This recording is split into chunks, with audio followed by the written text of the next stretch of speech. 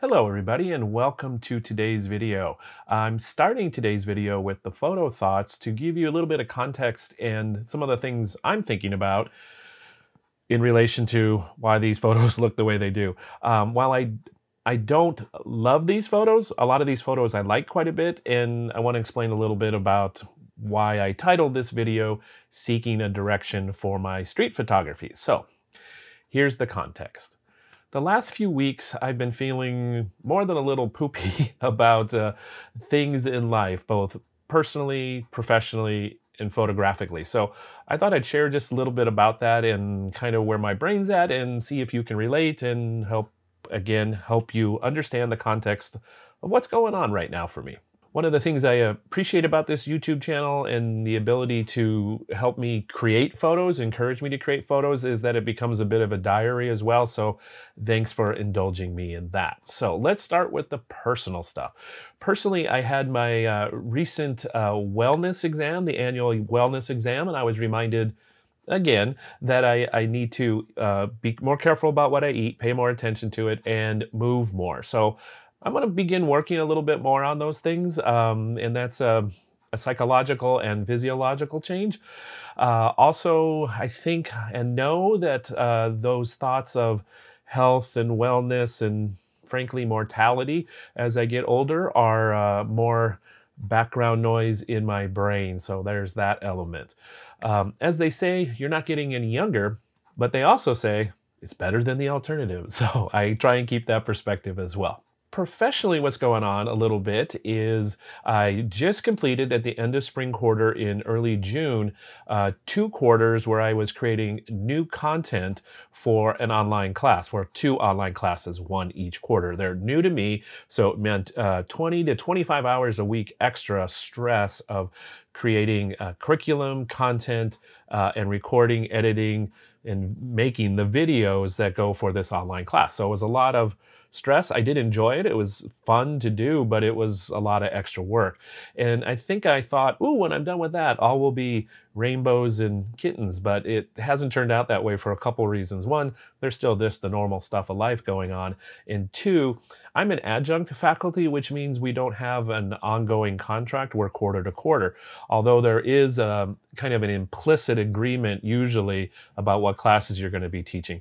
So for me, my fall quarter, I usually teach three classes, but currently I'm only scheduled for two.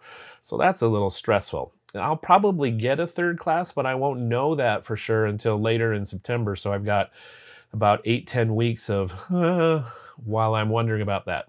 Lastly, let's talk about my thoughts and feelings around photographs, thinking photographically a little bit. And um, I've been struggling a little bit in, in that, especially this most recent batch of photos that you're going to see in a minute. It feels like they're, they're lacking direction and intention, uh, and even they're lacking me, for one of a better phrase. Part of what I think has happened is I've been watching lots of YouTube videos to get inspiration because of feeling in a funk about personal stuff and professional stuff. Uh, so as I'm doing that, I'm seeing photos that I'm just amazed by, and I'm like, oh, I want to do that. I want to do something similar. And then what I try and do, I think, is force uh, a type of photo on the context of where I go, which is downtown Bellevue, which just doesn't work. Um, kind of a longer version of why I don't think that works is, is Bellevue's a different city. Uh, while it's a pretty big city, which I'm gl glad for, there's lots of opportunities there, it's different. It's a relatively new city. It's pretty suburban. Uh, new construction is all concrete and steel. Uh, so it's a you know, after a while, they all kind of look the same. Um, there's not a lot of personality in the buildings, so that means working differently in how creating compositions. Secondly, related to all that is because it's a pretty new city, it's not very dense.